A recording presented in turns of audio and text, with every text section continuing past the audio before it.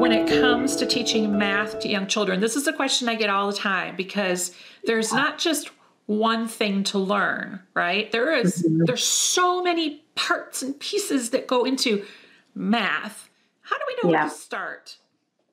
Well, I think looking first, you know, at a child's physical, you know, their their whole physical body is really a part of it. Not a lot of people think of this, but when you look at um, a child, you know, being able to, I did a video on my website where I have a child skipping or like crossing their midline, um, you know, and all the different parts of the brain that have to be interacting. And so if I, I can go to a second grade classroom and tell the kids, okay, line up on the blacktop and I want you to skip you know, going across the blacktop.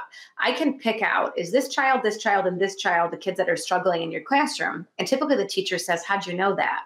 Because skipping is a rhythm, it's a, you know, a, a kind of a learned um, pattern, if you will, that really links itself to math just like dynamic and static balance. So a child walking, you know, heel to toe versus maybe, you know, putting their arms out, closing their eyes and putting one leg up and counting to six without falling over.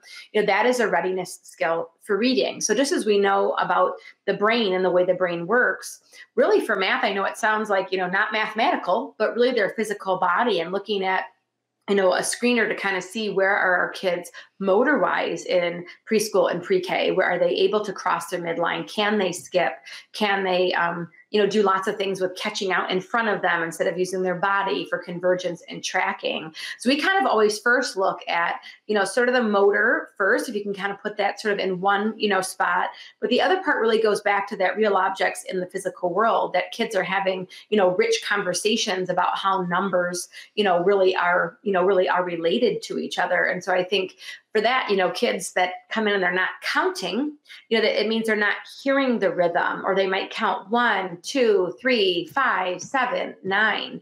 Um, you can't really assess kinesthetic one-to-one correspondence until a child can count to 10 because i don't know if necessarily you know you're you're counting and kind of walking you know and corresponding it i kind of relate that idea of the kinesthetic one-to-one correspondence very similar to rhyming you know so if i said cat hat and the kid says water bottle you know we know that they really aren't um, able to connect that rhyme. And so, although I can't make kids rhyme, I can provide lots of experiences with music and fun and play to help get that rhyming in. It's the same thing with kinesthetic one on one correspondence that if kids are fluidly skipping and having the patterns that they're doing, they're eventually, as, as they're counting and kind of learning those parts to it, they will start to be able to walk and count their steps, which is that beginning phase, you know, if you compared it to reading, like rhyming.